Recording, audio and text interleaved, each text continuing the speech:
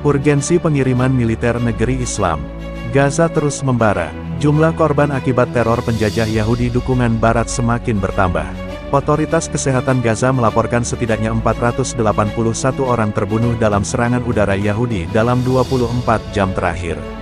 Pada hari-hari sebelumnya, jumlahnya terkadang jauh lebih tinggi.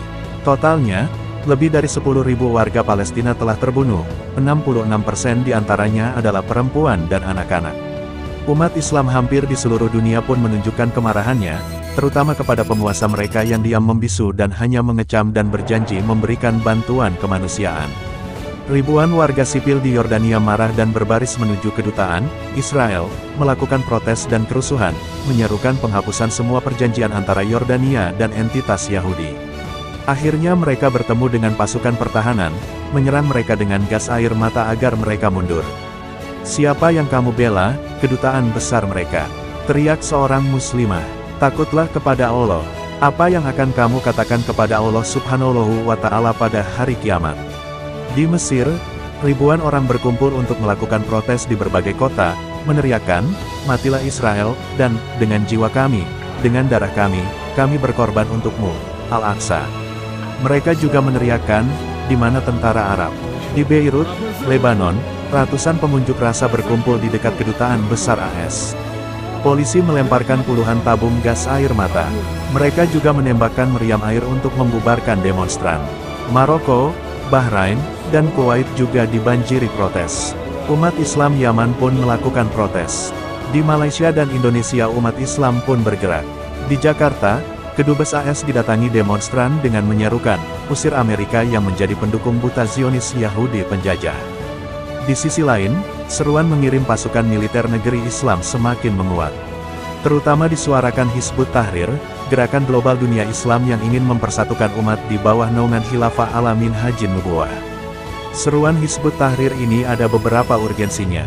Pertama, seruan ini untuk memenuhi perintah Allah Subhanahu wa Ta'ala, yang memerintahkan jihad visabilillah, ketika ada negeri Islam yang diserang, diduduki dan disalimi. Perintah ini berlaku bagi seluruh kaum muslimin, ketika upaya mengusir penjajah dan memerangi mereka belum tuntas dilakukan oleh satu negeri Islam seperti Palestina. Dan yang paling bertanggung jawab untuk memenuhi perintah ini adalah para penguasa negeri Islam dan para panglima perang yang memiliki komando untuk menggerakkan militer negeri-negeri Islam. Kedua, dalam perang ini yang dihadapi oleh umat Islam sesungguhnya bukanlah hanya entitas penjajah Yahudi yang jumlahnya sekitar 7 juta orang dengan sekitar 150 ribu pasukan inti. Tapi yang dihadapi umat Islam adalah negara-negara barat seperti Inggris yang membidani kelahirannya, Amerika dan sekutu Eropanya yang menjaga sebagai harga mati. Sesungguhnya yang kita hadapi adalah kekuatan politik global yang juga siap mengerahkan militer mereka. Perang ini tidak bisa hanya diserahkan tanggung jawabnya kepada Hamas yang telah membuktikan keberanian mereka. Tapi harus ada mobilisasi militer negeri-negeri Islam.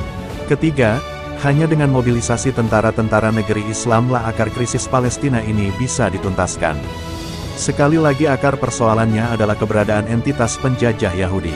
Ini tidak bisa diselesaikan dengan bantuan kemanusiaan, yang hanya membantu korban, tapi tak menghentikan penjahatnya yang selalu melukai bahkan membunuh korban.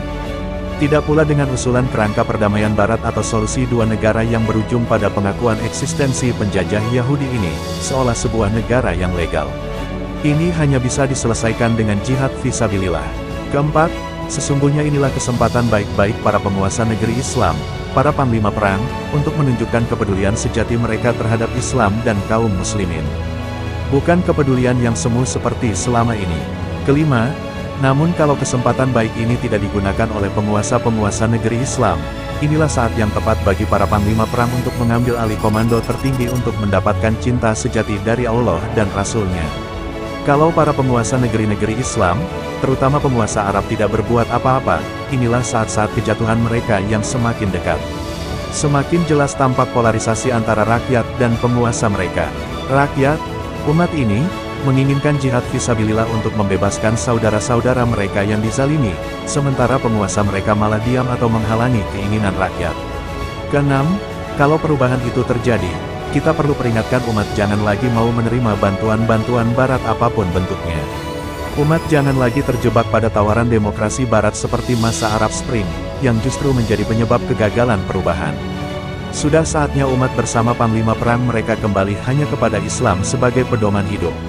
Kembali dengan menegakkan institusi yang telah mempersatukan umat, melindungi umat, mengurus umat dengan benar dengan syariah Islam, yaitu Khilafah Alamin Haji Nubuwah.